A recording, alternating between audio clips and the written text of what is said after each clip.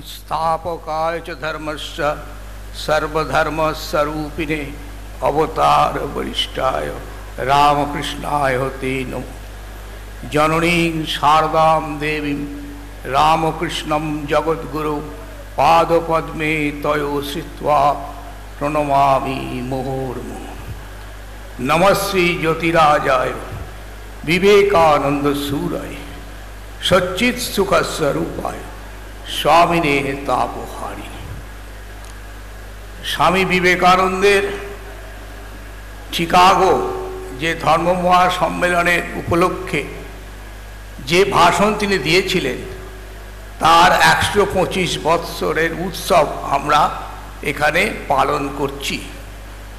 গতকাল ছিল যে সেইটার উদ্ঘাটন, উদ্বোধন সেই একশো পঁচিশ বৎসর পূর্তি উপলক্ষে আপনারা অনেকে তখন এসে সমবেত হয়েছেন। আজকে আপনারা সকলে এসেছেন। আজকে হচ্ছে আমাদের ভক্ত সম্মেলনের দিন। আমি প্রথমে প্রণাম, ভুলুণ্ঠিত প্রণাম জানাই ও স্বাগত জানাই।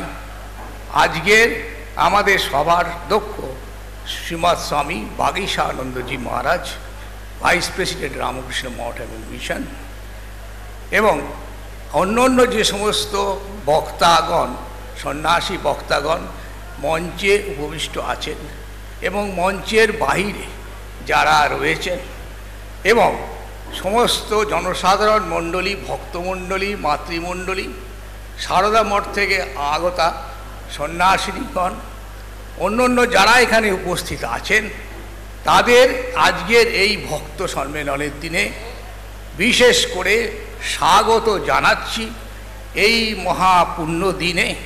আপনারা এখানে এই বেলুর মঠে, এই পুণ্যভূমিতে এখানে সকলে উপস্থিত হয়েছেন এবং আজকের এই যে ভক্ত সম্মেলন হবে, এই ভক্ত সম্মেলনের আনন্দ আপনারা উপভোগ করবেন। আমরা ঈশ্বরীয় কথা, ভগবত প্রসঙ্গ, শ্রীরামকৃষ্ণ শ্রী মা এবং স্বামীজি, তাদের বাণী সমস্ত বক্তাদের কাছ থেকে শ্রবণ করব।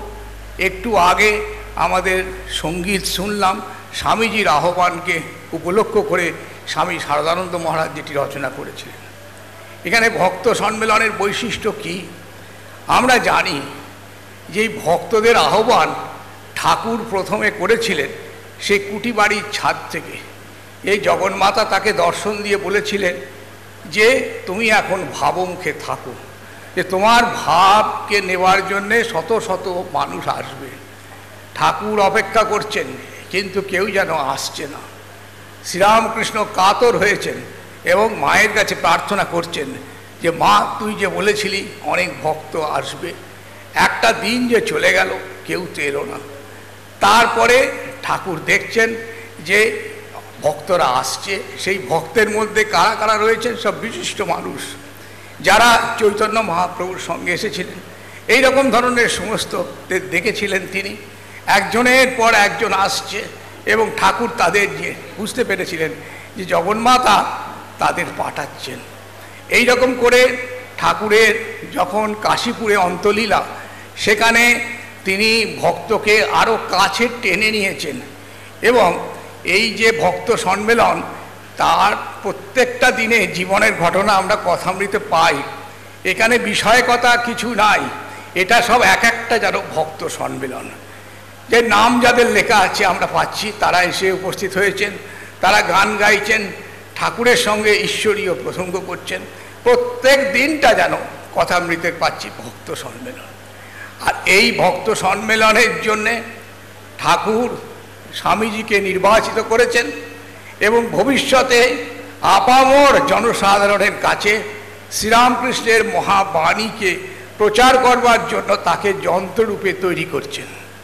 এই ঘটনা আমরা প্রত্যেক দিনের যে দিনপঞ্জিতে পাচ্ছি যে শ্রীরামকৃষ্ণ সকলের অলক্ষ্যে বেশি ঢাকঢোল প্রচারে তিনি চান না হতে, ধীরে ধীরে মানুষ জানুক শ্রীরামকৃষ্ণ কে, তার মহা আবির্ভাবের তাৎপর্য কী সেই জন্য আস্তে আস্তে আস্তে আস্তে মানুষ জানছে। কেশবচন্দ্র সেন আসছেন, বিজয়কৃষ্ণ গোস্বামী আসছেন। পণ্ডিত বাগ্মী, বেশি বেশি ব্যক্তি যারা বিদ্বজ্জন, তারা এসে উপস্থিত হচ্ছেন শ্রীরামকৃষ্ণের কাছে। এই রকমভাবে আসা যাওয়া হতে হতে কিছুটা যেন বেড়ে যাচ্ছে খবরটা। এবারে ঠাকুরের হাটে হাড়ি ভাঙা। হাটে হাড়ি ভাঙা মানে এতদিন যেন একটু একটু গোপন গোপন রেখেছিলেন নিজের সম্পর্কে। এইবারে তিনি হাটে হাড়ি ভাঙবেন, সব লোককে জানাবেন এবং যারা সেখানে উপস্থিত ছিল, তারা বিশেষ করে ভালো করে বুঝবে এবং ভবিষ্যতে তার বাণীকে সেখানে নিয়ে যাবে। এবং এর জন্য নির্দিষ্ট রয়েছেন সংঘকে স্থাপন করার জন্য স্বামী বিবেকানন্দের উপরে গুরুবার। আর তার সঙ্গে সঙ্গে শ্রীরামকৃষ্ণের যে মহাশক্তি সারদা দেবী, তাকে তিনি এই কাজের দায় অর্পণ করেছেন। একদিন বলছেন শ্রীরামকৃষ্ণ সারদা দেবীকে যে তোমাকে অনেক কিছু করতে হবে। সারদা দেবী বলছেন, আমি তো মেয়ে মানুষ, আমি কি করে করব? ঠাকুর বলছেন, না না, অনেক কিছু করতে হবে, তোমার উপরে অনেক দায় অর্পণ করছি। ঠাকুর রঙ্গরসিক ছিলেন, বলছেন, যার দায় সে জানে, পর কি জানে পরের দায়। হয়ে বিদেশিনী নারী, লাজে মুখ দেখাতে নারী বলতে নারী, কইতে নারী নারী হওয়ায় কি দায়? কেন? সারদা দেবী লজ্জিতা। এই কাজ কি মহাকাজ? ঠাকুরের ভাব। তার মতন একজন নগণ্যা নারীর পক্ষে সম্ভব। কিন্তু শ্রীরামকৃষ্ণের ঘোষণা যে তোমাকে কালে সব করতে হবে। সেই জন্য এই যে আমরা যত কিছু কাজ করছি, এই শ্রীরামকৃষ্ণের মহাশক্তি সারদা দেবীর আশীর্বাদ পুষ্ট হয়ে তবে করতে পেরেছি। এবং স্বামী বিবেকানন্দ এই বেলুর মঠে তাকে নিয়ে এসছেন। তার পায়ের ধুলা তিনি নিয়েছেন। এই জন্য তার আশীর্বাদে আমাদের দেখছি, আমরা আসতে পাচ্ছি এবং তিনি কীভাবে শ্রীরামকৃষ্ণের কথা মতো ভক্তদের আহ্বান করেছেন, অগণিত ভক্ত আসছে। শ্রী আবরদা দেবী পরবর্তীকালে বলছেন যে, ঠাকুর তো কতগুলো বেছে বেছে নির্বাচন করছেন। স্বামীজি পর্যন্ত বাছা ছিল।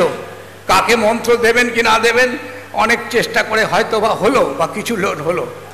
আর শ্রীসীমা অকাতরে তিনি কৃপা করছেন, বলছেন যেন পিঁপড়ের রাস ঠেলে দিচ্ছেন। অগণিত মানুষ গ্রামে গঞ্জে অতি সাধারণ অধিকারী, কতটা বিদ্বান, কতটা পণ্ডিত, কতটা ধর্মপ্রাণ এই সমস্ত কিছু শ্রী মা যেন অগণিত মানুষকে এই সমস্ত মানুষকে বিচার নির্বিশেষে তাদের কৃপা করছেন। তো এই যে ভক্ত সম্মেলন, যে মায়ের জীবনে ভক্ত সম্মেলন, ঠাকুরের তবু তো কথামৃত পাই, মায়ের জীবনের কতটা বিস্তৃত ভক্ত সম্মেলনের ব্যাপার আমরা পাই। প্রত্যেক দিনের যে ঘটনা, তাতে নিত্য নৈমিত্তিক যে কাজকর্ম করছেন, রান্না ভাড়া, খাওয়া দাওয়া, ভক্ত সেবা, তার মধ্যে দিয়ে তিনি ভক্ত সম্মেলন করছেন। সেইখানে যে আধ্যাত্মিক আলোক তার মুখ থেকে বেরুচ্ছে এবং সেখানে যারা নোট করে নিচ্ছেন, পরবর্তীকালে মায়ের উপদেশ তারা পড়ছেন, জানছেন, শান্তি পাচ্ছেন। আর স্বামী বিবেকানন্দ এই বৃহত্তর জগতের ঠাকুরের মহাভাবকে ঠাকুর নিজের হাতে লিখেছিলেন, নরেন শিক্ষে দিবে যখন ঘরে বাইরে হাঁক দেবে। কেউ বলে ঘরে বাইরে, কেউ বলে ঘুরে বাইরে। যাই হোক এটাই হোক, ঠাকুর নিজের হাতে লিখে তাতে সই করে দিয়েছিলেন। এইটা যেন একটা সার্টিফিকেট এই সার্টিফিকেটের দ্বারা ঘোষণা করা হলো, স্বামীজি মানতে চাননি। ঠাকুর বলেছিলেন, তোর ঘাড় করবে। যে স্বামীজিকে তিনি নির্বাচিত করেছেন এই কাজের জন্য। ঘরের দরজা বন্ধ করে সকলকে বাইরে বার করে দিয়ে তিনি এইভাবে নরেনকে উপদেশ করছেন। একান্তে যতটা উপদেশ আমরা পেয়েছি, তার চেয়ে অনেক বেশি করেছেন। স্বামীজি কিছুটা যা বলেছেন, ঠাকুর যা বলে গেছেন, এছাড়াও যে সমস্ত উপদেশ ঠাকুর স্বামীজিকে দিয়েছিলেন, সেটি স্বামীজি পরবর্তীকালে কার্যে রূপায়িত করে আমাদের সামনে দিক নির্দেশ করে গেছেন। এই সঙ্গ কীভাবে শ্রীরামকৃষ্ণ ভাবকে আশ্রয় করে চলবে এবং এর যে আদর্শ এবং ভাবধারা, এইটিকে যারা অনুসরণ করবে, তাদের কার্যধারা, তাদের জীবন কীভাবে নির্মিত হবে, এই সম্পর্কে বিস্তৃতভাবে স্বামীজি নির্দেশাবলী দিলেন এবং এরা হলেন আমাদের শ্রীরামকৃষ্ণ ভক্তমণ্ডলী। এখানে জাতি, ধর্ম, বর্ণ কোনো রকম প্রি কোয়ালিফিকেশান নেই। যে মানুষেরা আসবে, সকলেইকেই আমরা ওয়েলকাম করছি, সকলকেই সাদরে আমরা আহ্বান জানাচ্ছি। আজকের এই দিনেও আমরা ওই ভাব, ওই চিন্তা ওইটি মাথায় রেখে আপনারা এখানে যারা উপস্থিত হয়েছেন আরও কত ভক্ত আছে যারা হয়তো উপস্থিত হতে পারেননি। পরবর্তী সময়ে হয়তো আসবেন বা এখানকার খবর, আজকাল মিডিয়া অনেক দূর পর্যন্ত এগিয়ে গেছে, তারা সব দেখবেন, জানবেন এবং কৃতকৃতার্থ এবং ধন্য হবেন। এইভাবে শ্রীরামকৃষ্ণের ভাব, এটা এমন একটি মহাভাব, এটা ফুরিয়ে যায় না। ফুরিয়ে যায় না মানে এই অনেক হয়েছে, আর দরকার নেই, এরকম নয়। কেন? এর মধ্যে অনন্ত শক্তি রয়েছে, অনন্ত ভাব রয়েছে। আমরা ক্রমাগত রিসার্চ করছি, গবেষণা করছি। করে করে করে করে করে এর থেকে নতুন নতুন আলোক আমরা লাভ করবার চেষ্টা করছি। স্বামীজি বলেছিলেন, শ্রীরামকৃষ্ণের বাণী বেদ বেদান্তকে ছাড়িয়ে গিয়েছে। এই বেদ বেদান্তকে ছাড়িয়ে দেওয়ার অর্থ কি? বেদ বেদান্তে তো রয়েছে সর্বশ্রেষ্ঠ সত্যের কথা, ঋষি মুনিদের উপলব্ধির কথা এবং আমাদের শাস্ত্রের যে সমস্ত তত্ত্বগুলি সেখানে রয়েছে, তাও পরবর্তীকালে অন্য অন্য শাস্ত্রের মধ্যে, অবতার মহাপুরুষদের জীবনের মধ্যে সেটি ব্যাখ্যায়িত হয়েছে। এটা কে অতিক্রম করছেন? এই শ্রীরামকৃষ্ণ, তিনি যে অনন্ত আমরা বলে থাকি, অনন্ত এই যে আমাদের অবেদানন্দজি মর্জেন যে ভক্তানুকম্পা ধৃত বিগ্রহং বই ঈশাবতারম পরমেশ বিড্ডম তং রামকৃষ্ণম শিরসা নবম এই যে অনন্ত শ্রীরামকৃষ্ণ, এই অনন্ত শ্রীরামকৃষ্ণ সম্পর্কে অবেদানন্দজি এই ইঙ্গিত করেছেন। তো এইটে এই অনন্ত শ্রীরামকৃষ্ণের অন্ত কি করব? একটি গান আছে যে শ্রীরামকৃষ্ণের যে অনন্ত ভাব তাকে বোঝা, তাকে জগৎ জানা। এই অবতার পুরুষ যখন পৃথিবীতে আবির্ভূত হন, তার ভাব এবং আদর্শ একটা বিশিষ্ট সময় বা একটা বিশিষ্ট জনমণ্ডলী এদের মধ্যেই সীমাবদ্ধ থাকে না। অনন্তভাবে এটা বিস্তার হতে থাকে। যত দূর দূরান্তের মানুষ, যারা নূতনভাবে বারবার খুঁজে খুঁজে বেড়াচ্ছে সেই সত্যকে জানবার জন্য অনেক ঘুরে ঘুরে ক্লান্ত হয়ে গিয়ে শেষকালে শ্রীরামকৃষ্ণের পদতলে বসছে। শ্রীরামকৃষ্ণকে তারা গ্রহণ ততখানি করতে না পারলেও ধীরে ধীরে শ্রীরামকৃষ্ণের যে মহাভাব সমস্ত জগতে বিস্তৃত, সেটি হচ্ছে, তারা অনুভব করছে ওই পৃথিবীতে মানে ওই মানুষগুলোর মধ্যে যারা উচ্চ তত্ত্ব শ্রেষ্ঠ সত্যকে জানতে চাইছে, তার জন্য অনুসন্ধান করছে। তারা স্বামী বিবেকানন্দকে কেন্দ্র করে শ্রীরামকৃষ্ণের দিকে একটু একটু করে এগিয়ে আসছে। যে ভক্ত সম্মেলনের উদ্দেশ্য কি? ভক্ত সম্মেলনের উদ্দেশ্য হচ্ছে ঠাকুর নিজে কীরকমভাবে কথা বলতেন। কথামৃতে দু একটা কথা উল্লেখ করছি। দক্ষিণেশ্বরে ঠাকুর নিজের ঘরের দক্ষিণের বারান্দায় ভক্ত সঙ্গে বসিয়ে আছেন। রামচন্দ্র দত্ত, একজন ভক্ত। তিনি একজন ওস্তাদকে এনেছেন, তিনি একটু গান শোনাবেন। গান হয়ে গেল, ওস্তাদ জিজ্ঞেস করছে, মহাশয়, কি উপায়ে তাকে পাওয়া যায়? শ্রীরামকৃষ্ণ বলছেন ভক্তি সার, ঈশ্বর তোর সর্বভূতে আছেন, তবে ভক্ত কাকে বলি? যার মন সর্বদা ঈশ্বরকে আছে, আর অহংকার অভিমান থাকলে হয় না। এইটি পড়ার পরে বলছেন যে অহংকার, অভিমান, এই রকম ধরনের যে পাহাড়, এখানে কিন্তু ভক্তি জমে না। সেই জন্যে ঈশ্বরের কৃপারূপ জল জমে না, গড়িয়ে যায়। তো এরপরে আমরা দেখতে পাচ্ছি, কেদারাদি ভক্ত, কেদারনাথ চট্টোপাধ্যায় একজন ভক্ত আসছেন। তাকে শ্রীরামকৃষ্ণ বলছেন, এই যে পার্লামেন্ট অফ রিলিজনে যে স্বামীজি এত সুন্দরভাবে বললেন সেটি যে শ্রীরামকৃষ্ণ ছোট্ট ছোট্ট কথার মধ্যে দিয়ে কত জায়গায় যে সেইটি, যে সেই সম্পর্কে ব্যাখ্যা দিয়েছেন, আমরা ভাবলে আশ্চর্য হয়ে যাই। বলছেন, সব পথ দিয়ে তাকে পাওয়া যায়, সব ধর্মই সত্য। ছাদে ওঠা নিয়ে বিষয়, তা তুমি পাকা সিঁড়ি দিয়ে উঠতে পারো, কাঠের সিঁড়ি দিয়েও উঠতে পারো, বাঁশের সিঁড়ি দিয়েও উঠতে পারো, আর দড়ি দিয়েও উঠতে পারো, আবার একটা আছলা বাঁশ দিয়ে উঠতে পারো। যদি বলো ওদের ধর্ম অনেক ভুল, কুসংস্কার আছে, আমি বলি, তা থাকলেই বা সকল ধর্মেই ভুল আছে। সবাই মনে করে, আমার ঘড়ি ঠিক চলছে। ব্যাকুলতা থাকলেই হলো। এরপরে কথাটা হলো, তার উপর ভালোবাসার টান থাকলেই হলো। এই ভালোবাসার টানটা, এটি ঠাকুরের জীবনে আমরা বারংবার দেখতে পাচ্ছি। কীভাবে দেখছি? শ্রীরামকৃষ্ণের নিজের জীবনে যখন তিনি সাধনা করছেন, তিনি এত তার ব্যাকুলতা মায়ের দর্শন পেয়েছেন। মায়ের দর্শন পেয়ে তিনি ভাবস্থ, সমাধিস্থ হয়ে থাকেন, কিন্তু তিনি চাইছেন এই ভাব যেন না কাটে। মুহুর্মুহু তার সেই মাতৃ দর্শন হোক। এটি আরও নারদ ভক্তি সূত্রে আছে। এইখানে বলা আছে যে তাকে না দেখতে পেয়ে তিনি যেন কাতর হয়েছেন। তা সেই জন্য বলছেন যে এই রকম অবস্থায় শ্রীরামকৃষ্ণ যেন নিজেকে সামলাতে পারছেন না। মাটিতে মুখ ঘষ্টে কাঁদছেন এই মায়ের দর্শনের জন্য। একবার হয়ে গেলেই তো আমরা ক্ষান্ত হয়ে যাব, ভাবি যে হয়ে গেছে কাজ।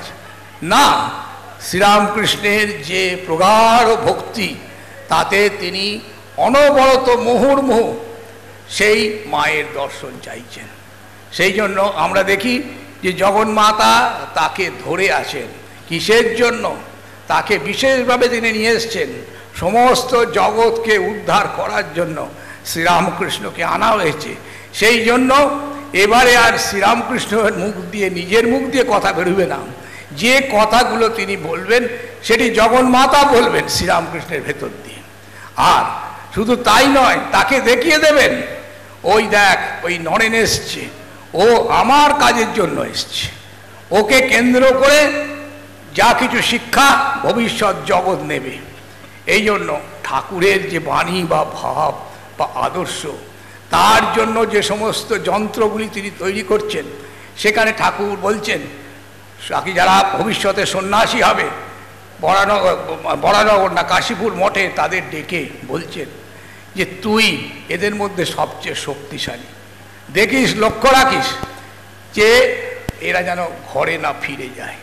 মানে তিনি সন্ন্যাসী সঙ্গের প্রবর্তন করবেন, কারণ সন্ন্যাসী ছাড়া ধর্ম শিক্ষা হয় না।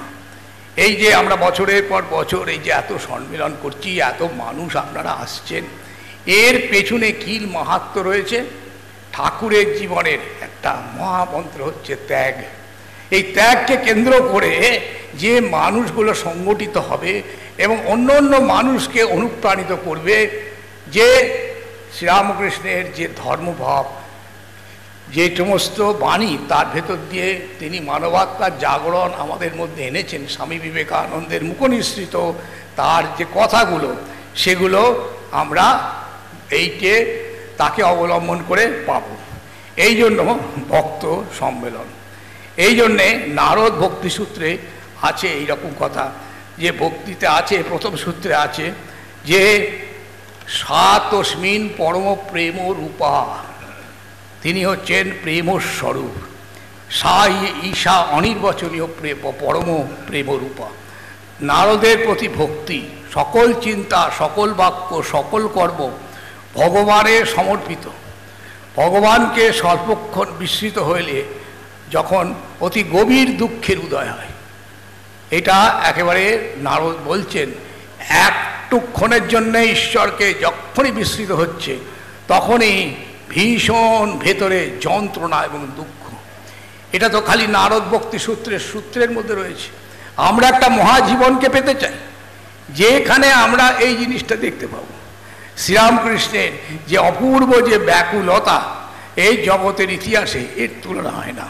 সেই জন্য তিনি মুহুর্মুহু দর্শনের জন্যে যে উন্মাদ, তাকে বাতিগ্রস্ত উন্মাদ বলে বাকি জগৎ তখন ভাবছে। এই রকম একটা অবস্থা।